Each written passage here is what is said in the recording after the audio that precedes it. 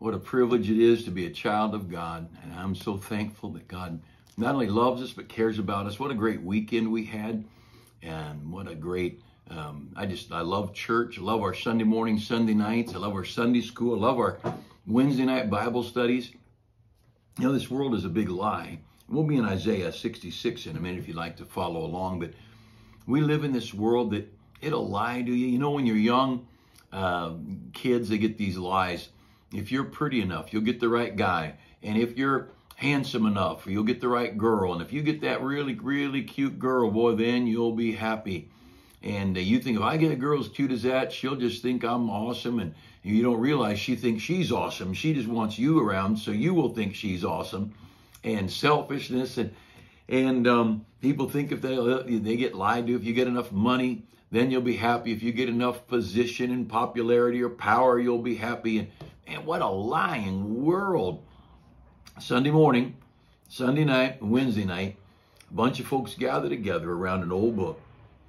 And we talk about a coming kingdom and a coming king. And we talk about the, the promises of God, that God's going to take care of us and look after us, and that this world's not my home. I'm just passing through. And we find peace and happiness, whether whether we're poor, living in a little rented apartment, or whether we got a big, beautiful home and a good business or whatever, the, the, this book is a book of integrity.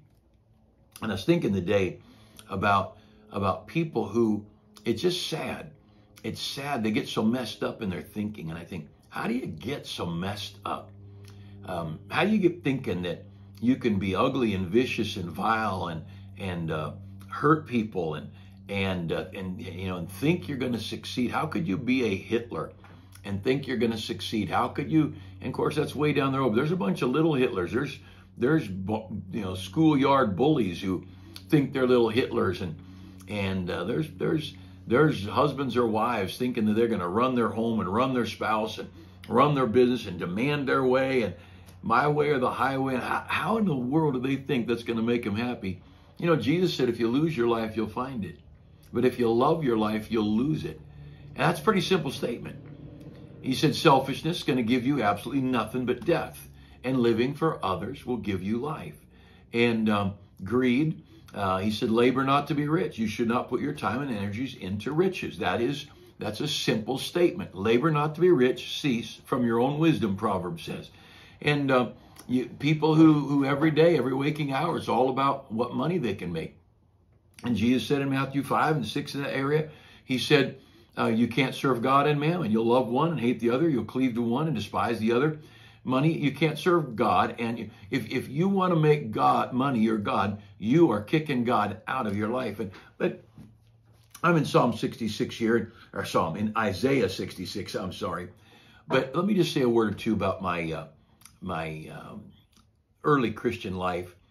And um, I'm I was saved in 1975. And so for these decades, just decades, I have enjoyed um, just the presence of God and the joy of the Lord. And I did not grow up in a Christian home. We had a good home, but we weren't Sunday school attending, Bible reading people. Um, I don't remember anybody ever lying, not getting away with it. Uh, you know, my brother and I might have lied, but you know, we grew up in a home where telling the truth mattered, and we had the basic principles of a decent, honest family. And um, even through a divorce, I never heard any ugly words, never saw any meanness go on. And, and um, but you know, um, I got saved and I left for college, and I picked this Bible up and I started reading it. I got saved on Wednesday, started reading this Bible in a motel on Saturday. And I made the decision this is my book. I just made that decision. I just kind of decided, you know, I'm going to trust it. Well, I went for the next year and a half to a secular college, and I read this book by the hour, read it, and I just devoured it, marked it up, color coded it, created my own color code. I don't know where that, that idea came from. Later, when I was in Bible college, uh, our pastor talked about coloring your Bible and having a theme and like a legend so you could find things. But I'd already been doing that for a year and a half.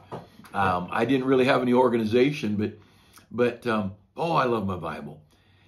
And I didn't understand all the decisions I'd made. But I remember sitting in Bible college. So um, this, I've been saved about a year and a half. no, well, closer to two years. And I start Bible college, a little Bible institute. And I had this teacher who regularly said, now what this verse really should say, and he'd tell us that our King James Bible had the wrong words in it. Or he'd say how this verse should have been translated. And he'll tell us what he thought the Bible should say because he, he knew he knew Greek. I don't know if he knew any Greek. He probably was reading a Greek book, but whatever he knew is irrelevant. but but I heard that over and over, and I remember sitting sitting in class thinking, I've been reading this book every year. I mean, every day for a couple of years now, and I know one thing: if I have to choose between the book in my lap and that teacher in front of class, I'm choosing the book. There came a point, and I don't know when, but in that first months, 20, you know, two months to 24 months that I was saved, when I submitted myself to the Word of God, I surrendered myself to it. And I said, This book is right, and the God of this book is right. And I may not understand what He does, and I may cry, and I may have a broken heart, and I may hurt or be sick. Those that I love might go through deep valleys of difficulty, but I know this I will submit myself to this book and this God. And I remember even before I was in Bible college, on my knees, um, just in, in prayer and, and weeping, tears of joy at the wonder that God loved me, the assurance, the absolute assurance in my heart that the eternal God loved me. And that was so beyond belief. And it just literally was an overwhelming thing that I just trusted his book. And here I was, a very young Christian. There was a graduate, uh, a couple of students or graduate students. They'd already gotten their four-year degree, and they were staying on for master's or doctorate or whatever.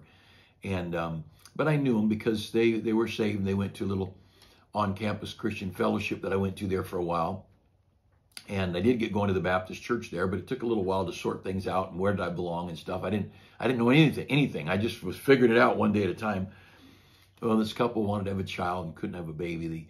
and they weren't married very long. They weren't very patient. And uh, we were talking one day on the way home from school, and we were walking, and they lived in apartments right nearby, and I lived nearby, and and um, and somehow that subject came up, and I've been reading, I've been reading these verses on prayer. I said, well, why don't we just ask God? God can give people babies. He gave people babies all through the Bible. You know, Hannah got a baby. Um, John the Baptist's mom, Elizabeth, had a baby. Uh, Abraham's wife, Sarah, got a baby. Why don't we just pray? And, and they're just looking at me like I was some kind of weirdo. And so right there, here I am. I've been saved maybe a year. And I'm on this uh, dirt path from the college out toward where we were. And, and we prayed. And I just bowed my head and prayed and prayed for these two that God would give them a baby. I'm like, I'm no I didn't even know, know what the word Pentecostal meant. I didn't know what a faith healer was. I didn't know I didn't know they were all a bunch of corrupt, money hungry, deceived liars. I just knew I believed this book and submitted myself to it. Oh, and just a matter of weeks later, they came and said, Bruce, you won't believe it. Uh, um, my wife's expecting. I said, well, of course I believe it. I assumed it. I was expecting her to be expecting. And just this innocent faith that what God said he meant. I also believed he meant you need to get right when you've offended a brother. You need to go apologize. I also believed he, he meant what he said when he said you ought to witness and you ought to live pure. And, and it was there at that college I realized I couldn't go to the parties where the liquor ran like a river, whether I drank soda pop or booze. I couldn't go there. Um, I realized there's a crowd of people that are not godly. I could I couldn't hang around that crowd. And little by little, I um, I just read it and learned it and tried to obey it. I submitted myself to it. And, and that's all before I, in the, the first two years of my Christian life. And look at Isaiah chapter 66 and verse um, 1 and 2. Thus saith the Lord, the heaven is my throne, the earth is my footstool. Where is the house you'll build in me? And where is the place of my rest? For all these things hath my hand made. And all those things have, have been, saith the Lord. But to this man will I look. God said, I'm not I'm not impressed with you trying to build me a church building or a tabernacle or a temple. He said, but I'll tell you what, there's a guy I will look to. There's a guy that I will draw near to me. And he's about to describe that guy. Look at the middle of verse 2. These things have been, saith the Lord, but to this man will I look, even to him that is poor and of a contrite spirit. Not talk about poor financially, but poor in your spirit. Of a contrite spirit and trembleth at my words. Look down at verse 5. Hear the word of the Lord, ye that tremble at his word. You know, there ought to be in the life of a child of God a point when you begin to tremble at his word. When you're poor in spirit, you realize I'm a nobody and I don't deserve anything. And and that time when any little sin that takes place, you're broken over, you're, you're contrite, a contrite spirit, contrition. Uh, I remember, remember just after I, I got started in Bible college, so I've been saved maybe two years, and talking with a man that I was renting a little place from, and and um, and we were just talking casually, and he was older than my parents, and very gracious guy there in the church, and and somehow the conversation came along, and I had stretched a story. I don't know what it was, and you know, it could have been a fish this big, and uh, I don't I don't know what it was, but but uh, you know, I walked away, and I thought that wasn't the complete truth.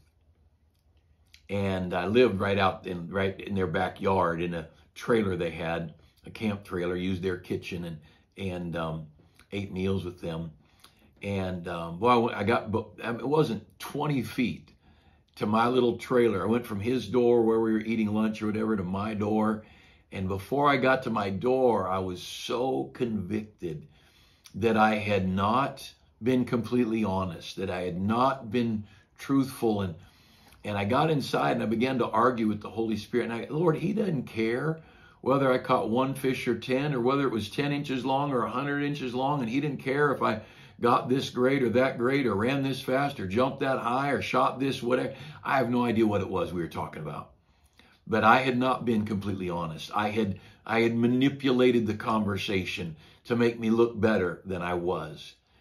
And you know, when you begin to exalt yourself, or I think to abase yourself, to make you look less than you are, to get a, a, attention or a poor me, which is so prevalent in our culture I think either one's wrong. It's it's a lie. It's a flat out lie. And um, well, I was in that that um, little camp trailer behind his house, and I don't know that I'll ever forget it. But I could have no peace. And within a few minutes, I realized, you know what? God doesn't want me being deceitful. I cannot go through this day, go to bed, get up tomorrow morning, go on with my life. I cannot expect God to bless me if I'm not honoring his book. I don't care. It's going to make me look stupid. It's going to make me look uh, like a, a liar. It's going to make me look ridiculous. What will this guy think of me? And I thought, you know what? It's God I'm worried about what he thinks of me. That's what matters. I went back in there and said, hey, can I talk to you for a minute? And I said, you know, I lied about this and it's really this. And I said this. And he looked at me because it wasn't anything that mattered. And he looked at me and said, okay, or, or something like that, or it's not a big deal, or I don't care. But it was, he didn't care. But he cared. God cared. There's a God in heaven who wanted me to have a poor and a contrite spirit and someone that trembled at his word. For these 45 years of Bible reading every day and ministry and working with people and serving people, I guess 40 seven years or something since I got saved, reading this Bible every day. I'll tell you, there's some joy that comes from submitting yourself to this book. So here I am in Bible college, and this guy's correcting the Bible. And I just said, nope, not going to do it. I don't care what you say. I'm believing the printed page. And I didn't know the difference between a King James and a New International Version and a Revised Standard and a Douay version and a New World Translation or Living Letters or Good News for Modern Man. I was reading a King James, but you know what? It didn't matter. That book, that King, and it does matter versions, but the point is, this book in my hand, this old King James, I had submitted myself to that book. And there's so many things that happen. You see, when you submit yourself to God, when you surrender yourself, God begins to this man, verse 2 says, To this man will I look. God begins to look to you. He begins to focus on you. He begins to pay attention to you. When you surrender yourself to the Word of God, the God of the Word comes to you and begins to work in your life and guide and direct. And, and you want to ignore God's Word, He'll ignore you. He'll let you go any old way you want to. But early on in my Christian life, I began to submit myself to this book. And I'd gone I, many times to someone and said, I'm sorry and apologized. I didn't treat you right in this situation. And early on in my Christian life, I learned to get right. And then we were taught that having a short sin account, don't let a long time go between you doing wrong and you confessing it. You were harsh, you were unkind, or you did whatever, and going to that person, getting it right. Um, keep a short sin account. That's such a biblical principle over in First John. If we confess our sin, He's faithful and just to forgive us our sin and cleanse us from all unrighteousness. And so, to this man will I look and see the difference between somebody who is filled with bitterness and anger and uh, wrath and vengeance and someone who gets up each day enjoying life. I'll tell you the difference. One has submitted themselves to the Bible and one is not. One has let this world guide their heart and one has let this word guide their heart. Uh, you know this. Look look over to Hebrews. Hebrews chapter 12 or 4. Hebrews chapter 4 and I'll give you another thought that goes along with this. It's a matter of submitting ourselves to the word of God. Just simply saying, I am going to let the Bible tell me what to do. Hebrews chapter 4. Now, you go into the military, unless you're going to get in the brig or a dishonorable discharge, um, when you go into the military, you are going to submit yourself to a superior officer. And if he says, do push ups, you do. If he says run, you run. If he says eat this, you eat it. If he says sleep now, you sleep. You're in submission to that, uh, that uh, military authority. And see, there's something powerful that takes place when you submit yourself to this book. This is not just pages in ink. This book is supernatural. This is a living book. Look at Hebrews 4:12. Hebrews 4:12, for the word of God is quick. That word quick is like the living book. Um, the old uh, Western, the quick and the dead. And it's not talk, of course, in that case, it's who's got a quick gun and who's dead. But but the illustration, the quick and the and the dead, it's the it's the dead or the living. And the word quick means living. For the word of God is living, it's quick, it's powerful, it's sharper than a two-edged sword. Now that's just describing what the Bible is. Now he describes what the Bible does, piercing even to the dividing asunder of the soul and the spirit. Now, the soul is your emotion, your intellect, your will, it's your personality, and the spirit is that thing that has fellowship with God. And in your body, there's a living spirit and there's a living soul. And these two are so intertwined. You don't always know if it's the Holy Spirit leading you or if it's your soul, your old man, your person leading you. I want some chocolate ice cream with chocolate syrup and some brownies sprinkled over the top. That's soul. Uh, I need some time in prayer and I need to get right with this person I've offended or I've done wrong toward. That's spirit. And and sometimes it's hard to know which it is. You know, you start talking about dating couples, I don't care if they're 15 or 50. Um, you start talking about a relationship, boy, it can mess you up if you don't get the right person and your decision making process can be messed up. But, um, and I don't see any more wisdom in, in, people I know who've gotten married at 50 and 60 uh, than I have seen wisdom in, in 20 and 25 year olds. And uh, it's a scary thing uh, to make relationship commitments. You got a spirit and you got a soul, and they get intertwined. The Word of God will pierce to the dividing asunder of the soul and the spirit. And this book will literally come into you and divide you so you, it'll clearly reveal what soul and what spirit. And that's, un, that's an amazing thing. This book, the, the, no, no book, you read a book of uh, history book, it's going to tell you what happened. You read a science book, it's going to tell you about science and the world and experiments or archaeology, anthropology, whatever. You read this book, it's going to tell you about you.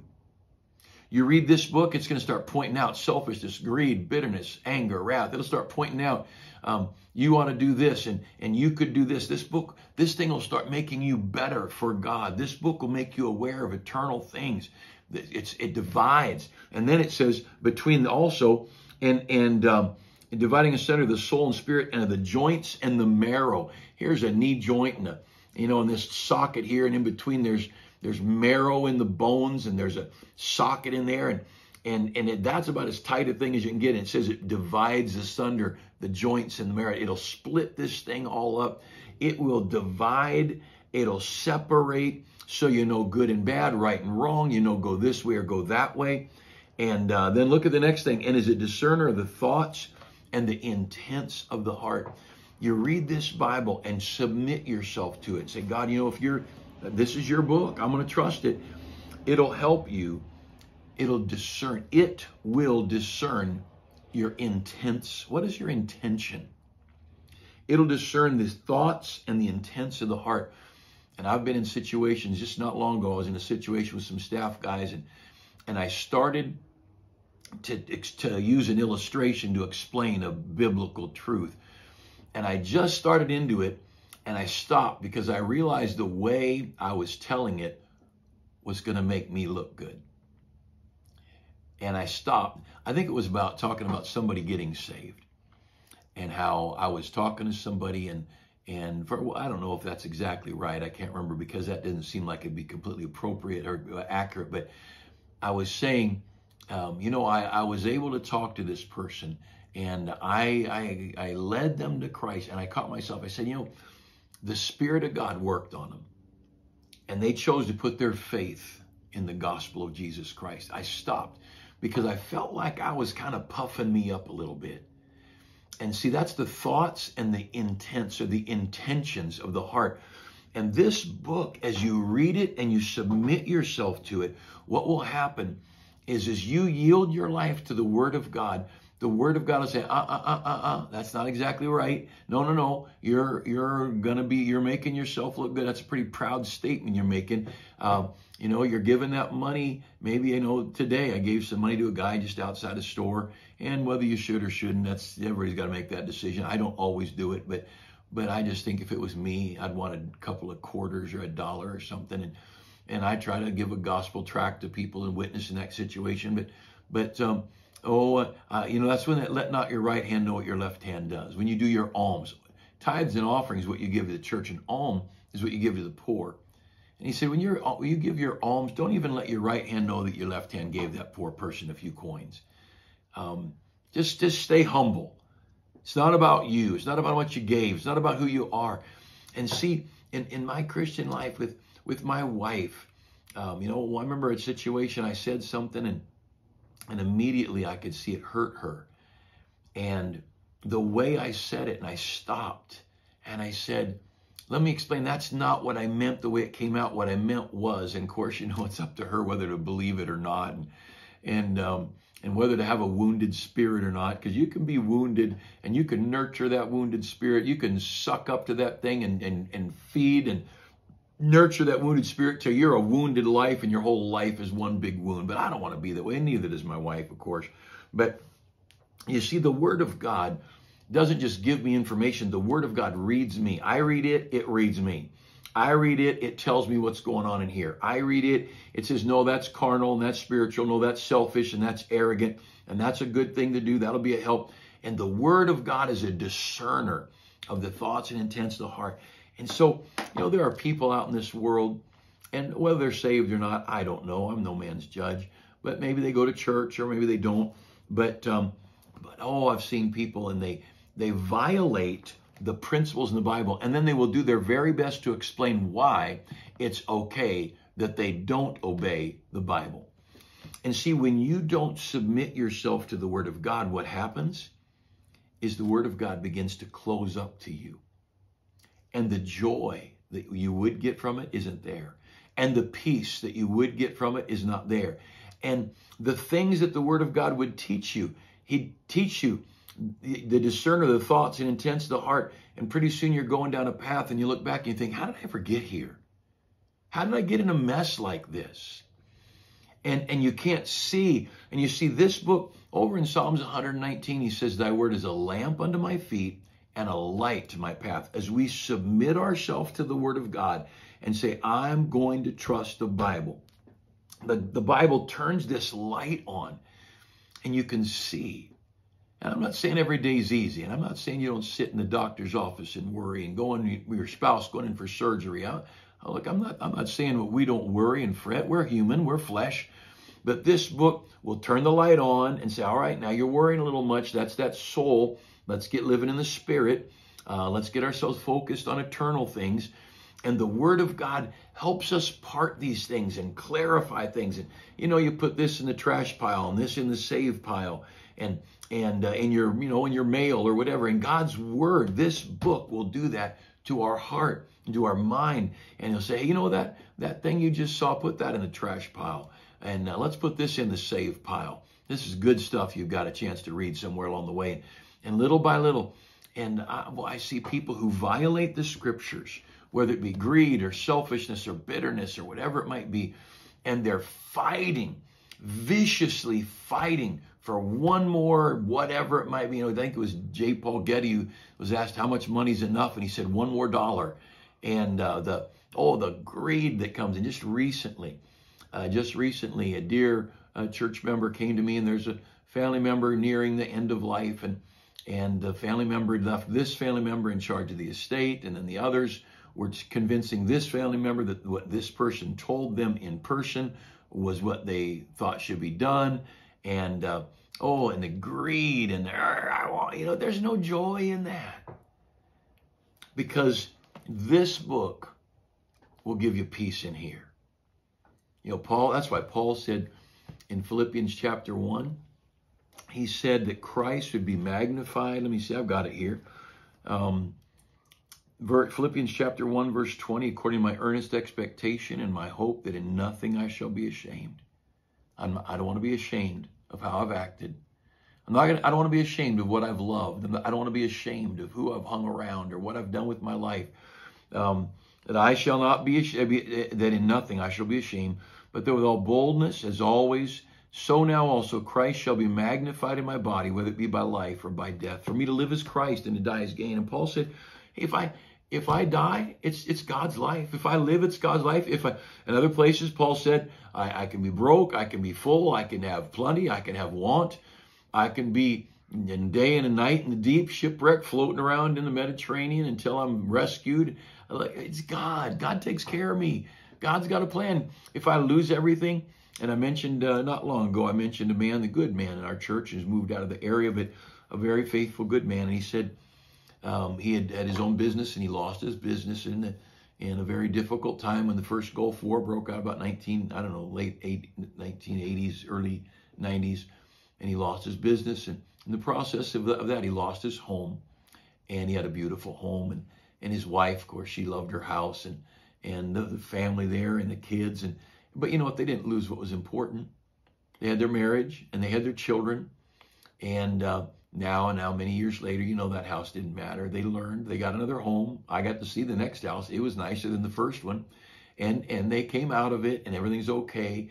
And uh, you know well look this book submit yourself to the word of god. Surrender to the word of god. Do it god's way.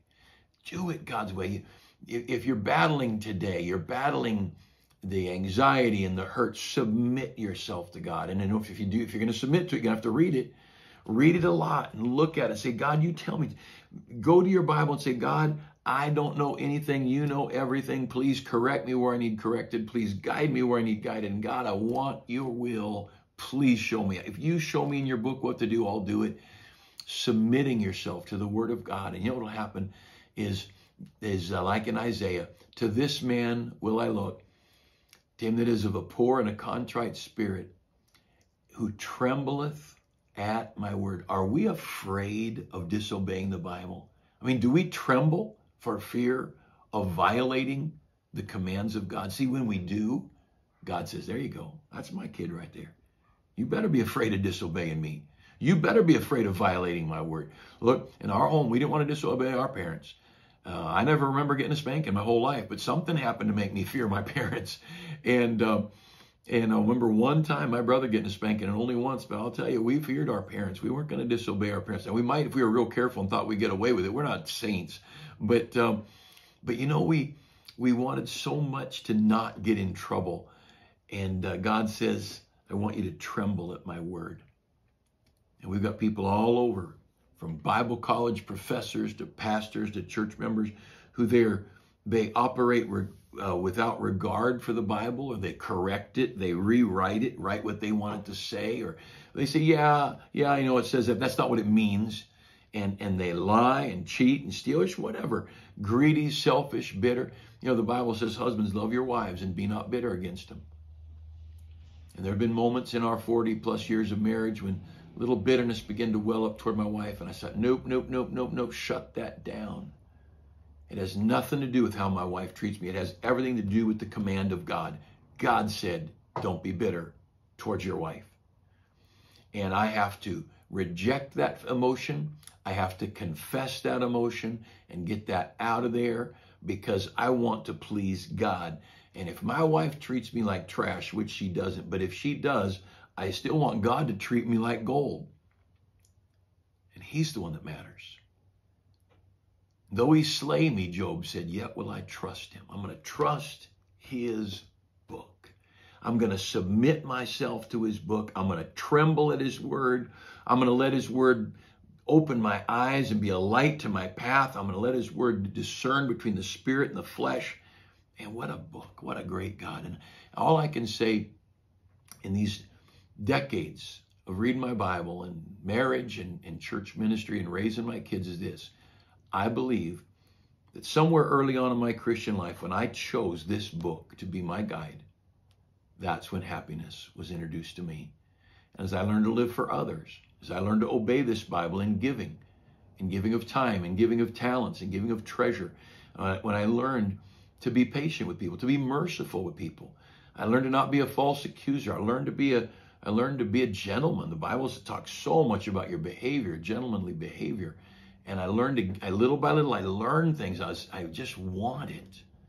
What a great life. This book, this book, this piece of leather and paper and ink, this thing is living. And I promise you, it's the best thing that'll ever happen to you. Hope you have a great day. Thanks for spending a few minutes together today.